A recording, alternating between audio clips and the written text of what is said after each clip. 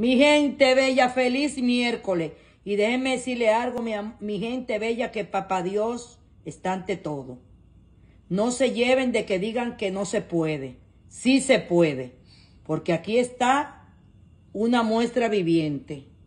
Leticia, sí se puede. Eso que nadie le diga a ustedes, ay, que esto no se puede. Miren, vamos a hacer un rico arroz blanco con jalapeño. Miren, tengo una cucharadita de mantequilla con un poquito de aceite de oliva. Le vamos a echar un poquito de ajo y le vamos a echar al gusto.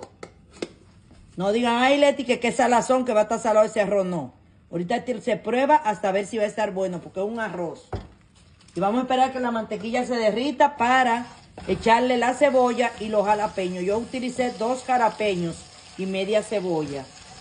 Porque tampoco lo vamos a dejar que se sofrían mucho para que los jalapeños no se cocinen demasiado. Miren, vamos a echárselo. Cuando todo eso ya esté sofrito, un poquito nomás, yo voy a hacer dos tazas de arroz y le voy a echar tres de agua. Y tenemos dos tazas de arroz y tres de agua. Se la vamos a echar de una vez para que los jalapeños no se nos pongan muy blanditos cuando echemos el arroz. Si no, los jalapeños tienen que estar, mire, así un poquito durito. Ustedes lo prueban a ver si está bueno de sal. Y ya saben. Y nos está hirviendo y vamos a echarle dos tazas de arroz. Eso es un arroz con jalapeño al estilo Leti.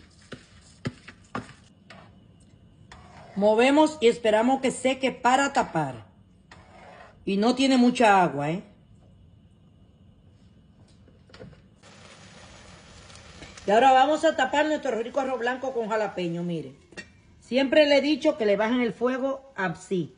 Y que al minuto ya le bajen por completo. Está listo casi nuestro rico arroz.